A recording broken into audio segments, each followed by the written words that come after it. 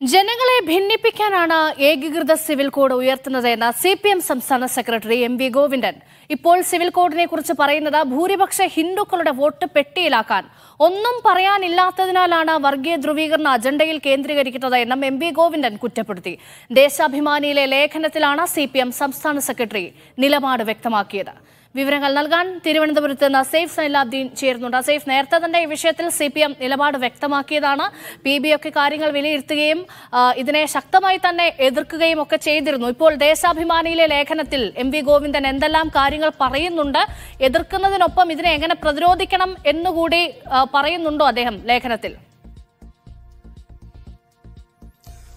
രശ്മ ദേശീയ തലത്തിൽ പ്രതിപക്ഷ ഐക്യം രൂപപ്പെടുന്നത് അത് ബി ജെ പി വല്ലാതെ ഭയപ്പെടുത്തുന്നുണ്ട് എന്നാണ് സി പി എമ്മിന്റെ സംസ്ഥാന സെക്രട്ടറി പറയുന്നത്. ഈ പശ്ചാത്തലത്തിൽ പ്രതിപക്ഷ ഐക്യം വലിയ രീതിയിൽ മുന്നോട്ട് വരുന്ന പശ്ചാത്തലത്തിലാണ് ജനങ്ങളെ ഭിന്നിപ്പിക്കാൻ വേണ്ടി ഇത്തരത്തിൽ ഏകീകൃത സിവിൽ കോഡ് എന്ന വാദം ബി ജെ പി ഇപ്പോൾ ഉയർത്തിക്കൊണ്ടുവരുന്നത് തെരഞ്ഞെടുപ്പിൽ വിജയിക്കില്ല എന്ന ബോധ്യം B J പിക്കുണ്ട്.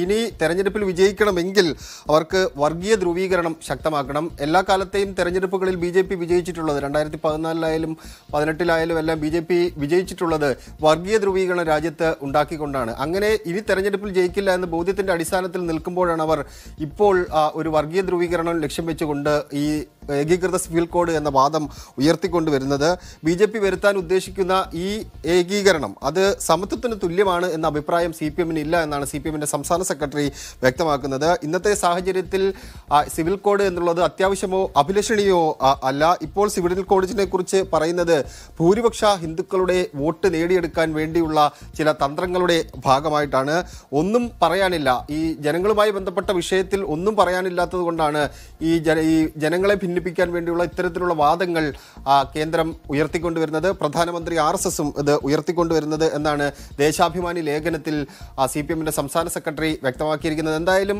B J P നടപ്പാക്കാൻ ഉദ്ദേശിക്കുന്ന ഈ ഏകീകൃത സിവിൽ കോഡിനെതിരെ അതിൽ ശക്തമായ പ്രക്ഷോഭം പ്രതിപക്ഷ നിരയിൽ നിന്ന് തന്നെ ഉയർന്നു വരേണ്ടതാണ്. അതിൽ സംസ്ഥാന സെക്രട്ടറിയുടെ നിലപാട് സി പി എമ്മിന്റെ നിലപാട് ജനറൽ സെക്രട്ടറി വ്യക്തമാക്കിയിട്ടുണ്ട്. അത് ആ നിലപാട് തന്നെയാണ് സി പി എമ്മിന്റെ സംസ്ഥാന സെക്രട്ടറിയും പറയുന്നത്. ഈ ഏകീകൃത സിവിൽ കോഡ് എന്നുള്ളത് അതിപ്പോൾ അത്യാവശ്യമായ ഒരു കാര്യമല്ല.